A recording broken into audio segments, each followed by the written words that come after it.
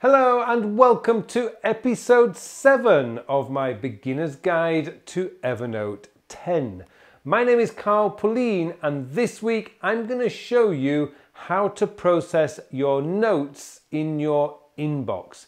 Now there's a correct way of doing this and a not so correct way of doing this and I want to show you the difference between the two so that you can get super fast at processing your Evernote inbox. Now, before we go any further, I would just like to say, if you do get any value from this video, then please help me by clicking on that like button below.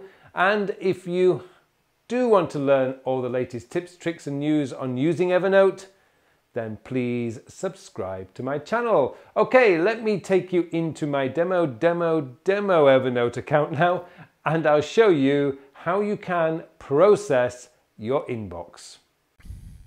Okay, so what I've done in this particular episode is I've collected two notes. So I've collected a an email newsletter that I that I did, and I've also collected a blog post that I did, and I've saved this into my Evernote. So, what you need to do when it comes to this is one of the reasons why having an inbox is so important. So, this is kind of like a productivity tip for you. If you start adding notes directly into your notebooks, then you're not actually curating your notes particularly effectively. Essentially, what you want to do is create a rule that every note you make begins in your inbox.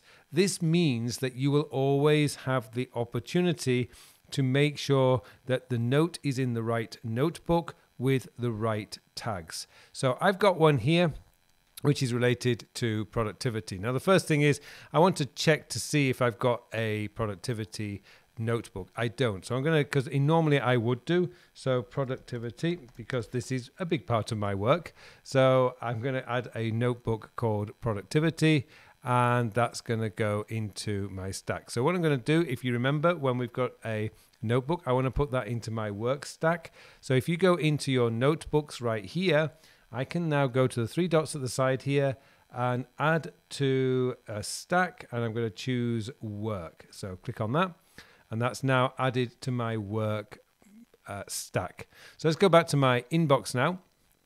And what we're going to do is up at the top here is where you can save it to a notebook. So I'm going to click on this little icon here.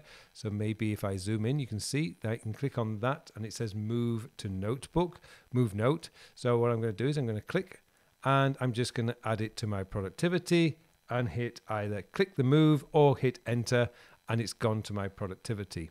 Another one here, how are you collecting your notes? Again, this is related to productivity, so I can actually go into here and click on move to note. But what you will have noticed is when I did the previous one, let's go back into here. When I did this one, I'm going to move this back to my inbox because what I want to do is I want to show you one thing that you need to do. And this is just to get it in the right order.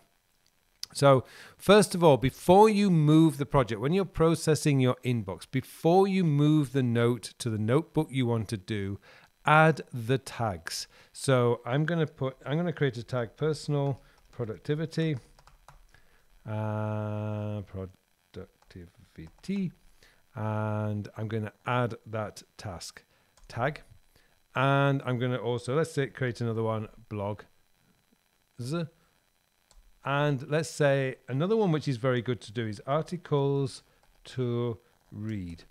And I'm going to create that. So I've added four tags to this three tags sorry yeah, three tags to this particular note. So uh, make sure you add any tags that you want to do add first. Then go to the project, the notebook, and then move that to wherever you want to move it. So I'm going to move that to my productivity, hit return, and that's gone. As you can see, it's gone. How are you collecting your notes? Again, this is related to productivity. So all I have to do is type P, and there you go. I can just hit return.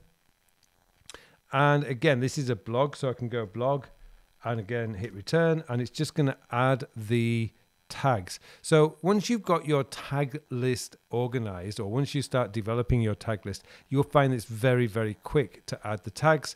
Just go up to here, tap on that, and you can then move that to productivity. and just hit move. Okay, so now we've got these three things. So there are other ways of doing this. So I'm going to go into personal here and let's just, we'll use miscellaneous for now. Uh, so we got this one here. You can open up the your notebooks like this. So you have them down the side bar. So what I can do is I've already tagged this with James Bond books, so this just needs moving. So what I'm going to do is I'm just going to get the note like this. I'm going to move it down to miscellaneous and it goes. This one I've already tagged, as you can see. So again, all I have to do is move it down to miscellaneous down there. And you can see it's just clearing out my inbox. Now I find this is actually the quickest way to do it. And again, I've got one here and that's related to James Bond. So again, I'm just going to move that down to miscellaneous. And there you go my inbox is clear. Now, that's just a quick demonstration on four or five notes, but you can get really, really fast. But remember, the key is to, whenever you're in a note, the key is to make sure before you move the note to a different notebook that you add any tags. I mean, it's not the end of the world because obviously you can go into the notebook and add your task, but you may as well do everything all in one place when you're processing your inbox. So there you go. I hopefully that I've got one here by the way. I've got meeting notes, and what you'll find is this is actually in the wrong wrong notebook. So this is a meeting note, so I can just drag that from that and move it into the right place, and it will go. So there you go. That's all I really wanted to show you this way. And really, what you want to do is to start getting into the habit of processing your notes. Usually, once a week is enough because notes are not generally urgent, but just clearing out the inbox. But as you're going through the inbox, what you want to be doing is deciding whether you want to keep the note or not. Sometimes you get notes that you're thrown in there and you think, why is this in here? And this is where you would just decide, okay, I'm going to delete it. And remember, when you delete a note, it goes into your trash. Now, I've got a couple in here called Untitled, and I put them in on the 9th of April. So I have to actually go into my trash and empty it for these notes to disappear. So when you first delete a note, it doesn't go disappear immediately. You have to do action to get them to disappear. So there you go. That's all I wanted to show you this week. It's called processing your notes. It's something that you want to get really good at, get into the habit of doing, because the more you do it, the faster you will be. Well, thank you very much for watching this episode. And it just remains for me now to wish you all a very, very productive week.